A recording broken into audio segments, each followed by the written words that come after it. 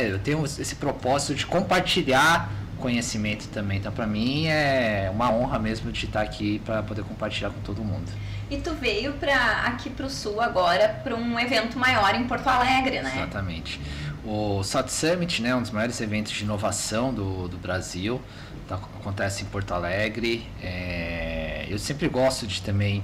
É né, claro que eu também vou participar ali, tem algumas coisas que eu, que eu vou participar, mas eu gosto muito de, primeiro, conectar com as pessoas ou reconectar. Tem muita gente que eu conheço, então é reconectar com as pessoas, conectar com algumas pessoas novas, aprender também, né? Porque às vezes o pessoal fala, pô, ela conhece pra caramba, né? Tem conhecimento, é professora, é palestrante.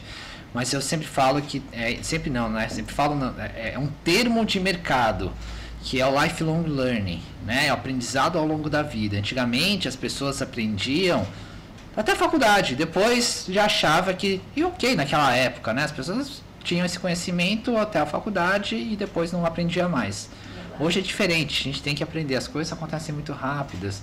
As coisas né, que a gente pensa em um momento já mudou no outro dia, aparece uma tecnologia nova.